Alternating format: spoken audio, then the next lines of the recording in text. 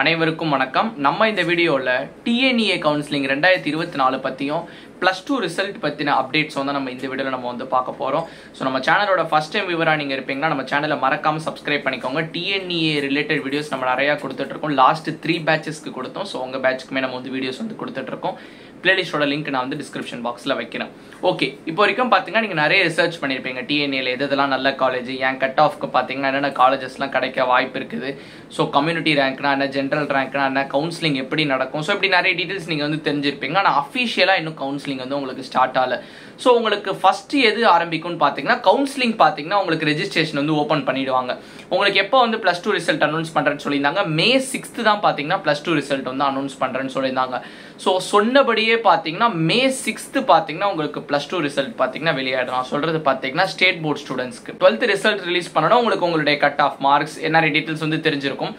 So அதுக்கடுத்து பார்த்தீங்கன்னா நீங்கள் என்னென்னலாம் பண்ணணும்? அஃப்கோர்ஸ் மே ஆறுக்கு முன்னாடியே உங்களுக்கு டிஎன்இ அதாவது மே அஞ்சாம் தேதி பார்த்தீங்கன்னா டிஎன்இஏ கவுன்சிலிங் விண்டோ பார்த்தீங்கன்னா ஓப்பன் ஆகும் டென்டேட்டிவ்லி ஸோ ஃபுல் ஷெடியூல் பார்த்தீங்கன்னா நமக்கு இனிமேல் தான் ரிலீஸ் பண்ணுவாங்க. ஸோ டிஎன்இஏ வெப்சைட் பார்த்தீங்கன்னா ஒர்க் ஆயிருக்காது உங்களுக்கே தெரிஞ்சிருக்கும். ஸோ அவங்க ஏதோ அப்டேட் பண்ணிட்டு இருக்காங்க வெப்சைட்டில் ஓகேவா ஸோ கூடிய சீக்கிரத்தில் நமக்கு வந்து டீட்டெயில்ஸ் தெரியும். ஓகே இப்போ என்னென்ன டாக்குமெண்ட்ஸ்னால் நம்ம வந்து டுவெல்த்து முடிஞ்சோன்னா நமக்கு வந்து தேவைப்படும். ஸோ உங்கள் கையில் இப்போ பார்த்தீங்கன்னா எதுவுமே இருக்காது. வெறும் ஹால் டிக்கெட் மட்டும் இருக்கும்னு நினைக்கிறேன்.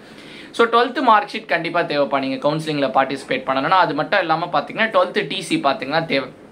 இந்த ரெண்டுமே பார்த்தீங்கன்னா உங்களுக்கு நீங்கள் ஒரு ஃபஸ்ட்டு கிராஜுவேட் அப்ளை பண்ணுறீங்கன்னா தேவை. ஸோ ஃபஸ்ட்டு கிராஜுவேட்னா என்னன்னு கேட்குறீங்களா நம்ம ஆல்ரெடி டீட்டெயில்டாக ஒரு வீடியோ போட்டிருப்போம். அந்த வீடியோட லிங்க் டிஸ்கிரிப்ஷனில் கொடுக்குறேன். இருபத்தஞ்சாயிரம் வரைக்கும் உங்களுக்கு வந்து ஸ்காலர்ஷிப் வந்து தருவாங்க.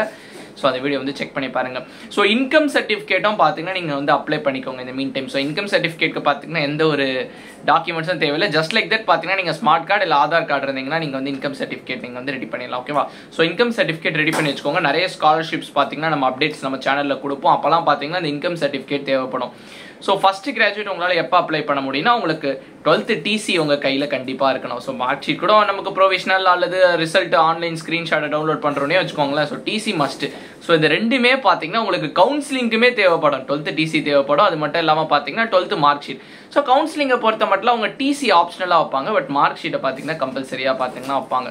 ஸோ அதனால் பார்த்தீங்கன்னா இப்படி தான் நம்ம ஃப்ளோ வந்து போகுது ஸோ யாருமே பார்த்தீங்கன்னா எந்த ஒரு அவசரமும் பட வேணாம்.